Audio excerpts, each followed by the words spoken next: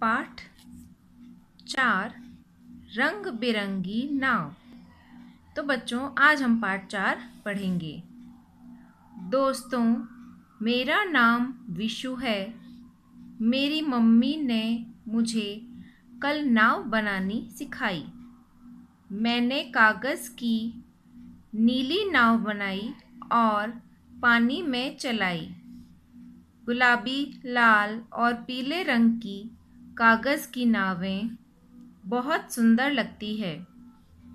कागज़ की नाव में कोई बैठ नहीं सकता, लेकिन उसे पानी में चलाने में बहुत मज़ा आता है।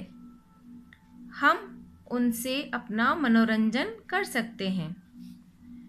मम्मी कहती है कि मज़े की चीज़ें मनोरंजक होती है और काम की चीज़ें उपयोगी।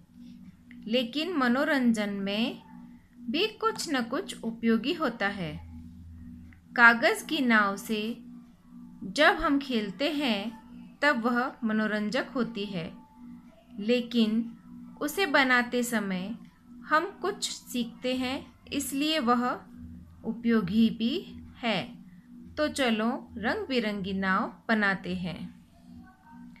क्या सीखा आपने इस पाठ से बच्चों? तो इससे हमने सीखा, अपने मनोरंजन के लिए हम अन्य उपयोगी चीज़ें भी बना सकते हैं। जैसे ये कागज़ की नाव बनाई है, वैसे कागज़ से हम कुछ भी कटिंग करके अपना मनोरंजन कर सकते हैं। तो ये तो हो गया पार्ट चार। अब कुछ आपको शब्दार्थ और श्रुतलेख बताऊँगी, जिसको आपको अपनी अभ्यास पुस्तिका में करना है।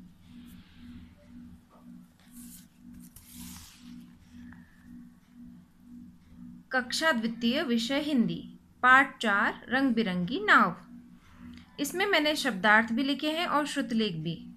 आपको अपनी अभ्यास पुस्तिका में उसको करना है। नाव पानी में चलने वाली। मज़ा, आनंद, मनोरंजन, मन को खुश करना। उपयोगी काम में आने वाला। श्रुतलेख है जैसे नाव, रंगीन, मनोरंजन, उपयोग, कागज़, मज़ा। तो ये आपको अपने अभ्यास पुस्तिका में करना है।